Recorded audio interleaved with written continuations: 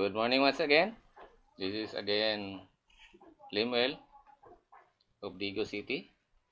So this is my first testing of this uh, a generator of mine. This generator of mine is my oldest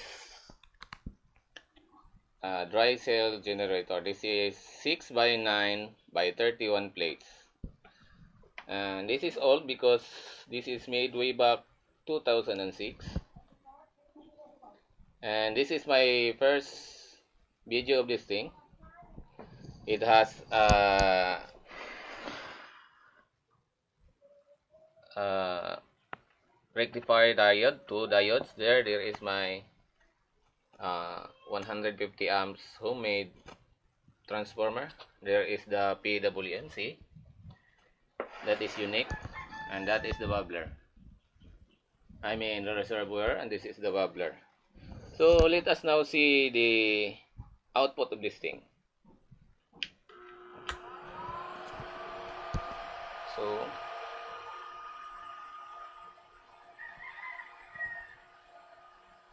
so as you can see that is the gas being produced of this it is a generator. I am not very sure how much liter per minute is that but as you can see from the bottom to the top for my estimate it is about 4 liter per minute. And you hear the blower. See the transformer? I have to I did uh, a bit of modification. That is the capacitor and the blow the blower of this thing the blower fan and the output. See? And the generator. The old old generator of mine. See see how it is being done. The reservoir and the output. See?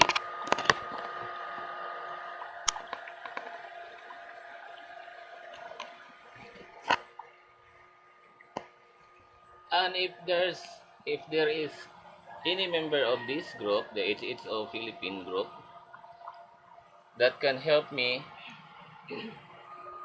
to run this thing run this thing with this